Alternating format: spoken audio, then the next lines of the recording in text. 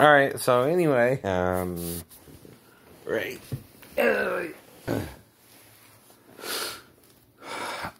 Right. So, um, had me some pork chops earlier and some.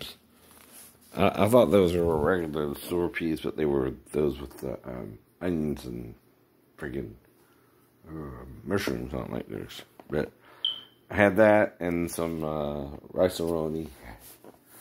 Um, but anyway, my friend Sue had to go back home. Uh, I'm sorry.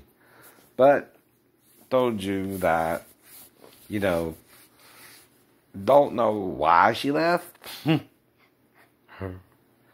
uh, she was here four days and left. Right?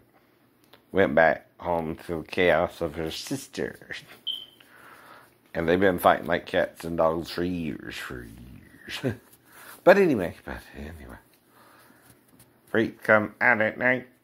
Freaks come at night.